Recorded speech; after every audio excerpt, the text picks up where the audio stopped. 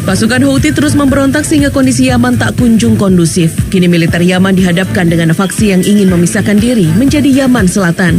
Akibatnya tentara Yaman harus terlibat konflik militer dengan kelompok faksi yang menewaskan hingga 10 orang dan melukai lebih dari 80 orang lainnya.